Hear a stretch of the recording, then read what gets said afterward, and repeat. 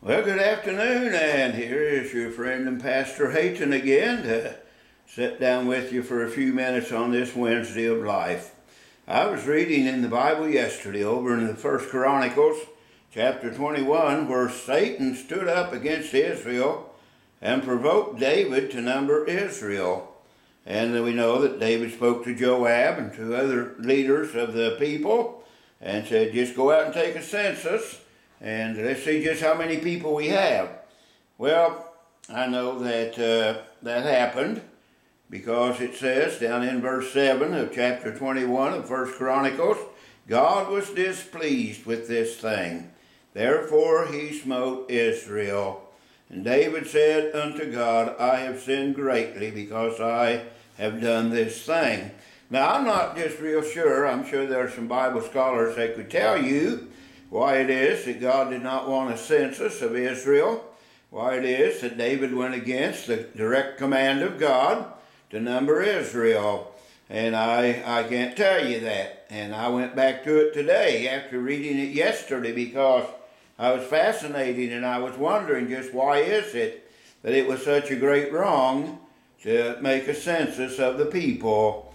Well, like can say, I can't tell you that, but I do believe that we live in a day where church membership is so important. Building a church is probably the objective of every pastor. Just seeing how many people he can cram into the sanctuary. And there is a great deal of emphasis upon numbers today. And it's all right. Numbers indicate that we are reaching people and and it does indicate that we are ministering to people. But I believe that perhaps God is sometimes displeased at the extent that we do to get people to come to church, to get people to become a part of the church.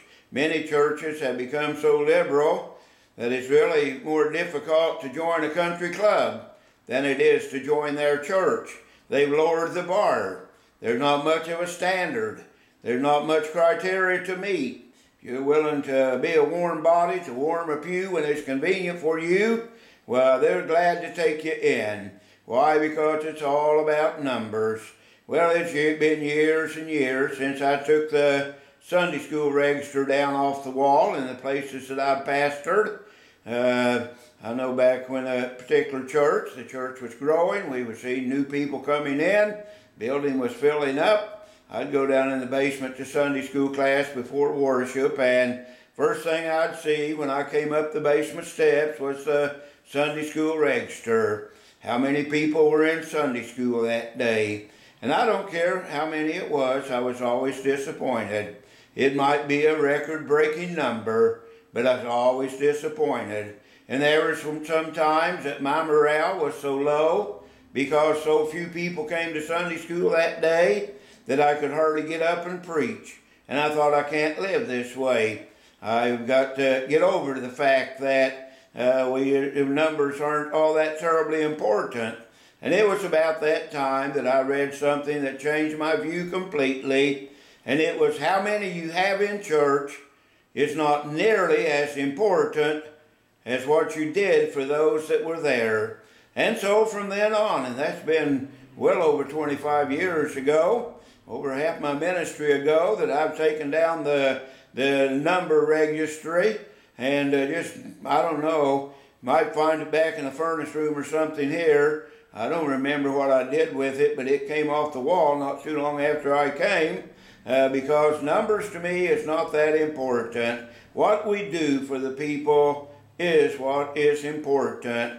And so, like I say, I think that if we lower our standard, we make it easy for people to join the church. We make it easy for people to become a Christian.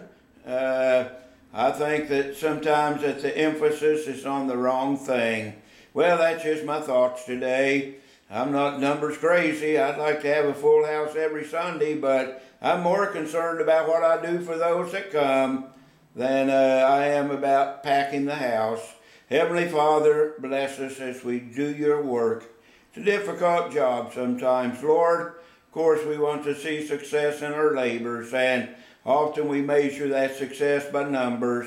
But Lord, may the emphasis not be on numbers, but may it be on genuine gospel ministry. Lord, bless us as we continue on down throughout life. In Jesus' name, amen. Well, thanks for letting me get that off my chest. I'll see you tomorrow here on the Lower Lights Devotional with Pastor Hayton. Goodbye now.